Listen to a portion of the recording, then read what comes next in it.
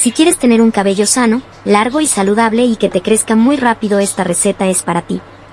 Este tratamiento para el cabello, tiene un efecto estimulante muy eficaz para estimular el crecimiento.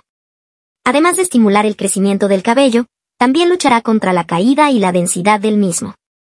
Amigos, este champú tiene nutrientes beneficiosos con alta capacidad de mejorar la circulación sanguínea. Suscribe y activa la campanita de notificaciones en la opción todas para no perderte los videos cada vez que subo uno nuevo. Para la receta estaré utilizando jengibre. Originario del sureste asiático, el jengibre ha sido empleado durante siglos en muchas culturas por sus propiedades medicinales. El jengibre le aporta a tu pelo aceites esenciales, vitaminas, aminoácidos y minerales. Estos elementos ayudan al cabello a estar fuerte y saludable de manera natural.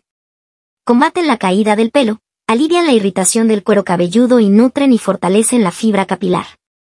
También usaremos un par o tres ramas de canela. ¿Qué efecto tiene la canela en el cabello? Pues esta previene la caída y ayuda a combatir el cabello quebradizo. Mantiene saludable el cuero cabelludo al limpiar los folículos pilosos.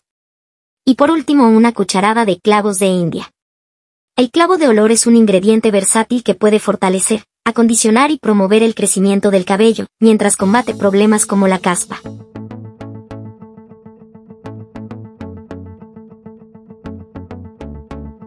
Poner todo en un recipiente con una taza de agua. Dejar hervir por 10 minutos. Me gustaría saber desde qué país o ciudad me estás viendo para así mandarte un saludo especial. Y el saludo de hoy es para Lupita Díaz de México y Rosana Barco de Ecuador. Gracias por ver mis remedios.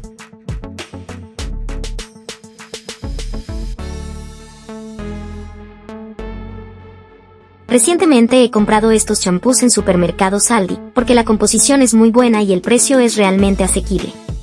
Así que voy a colar la mezcla y hoy añadiré este champú de manzana, pero puedes utilizar cualquier que tengas por casa.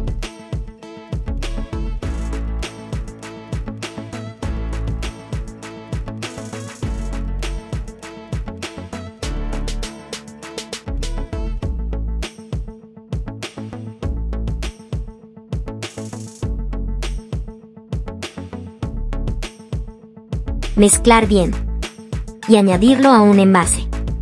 Puedes lavar tu cabello con este champú de 2 a 3 veces por semana. Guardarlo en la nevera para su mayor conservación. Y finalmente voy a filtrar la mezcla. Si has llegado hasta aquí es que el video te ha gustado mucho, califica el video del 1 al 10 para saber tu opinión es muy importante para mí. Saludos y bendiciones.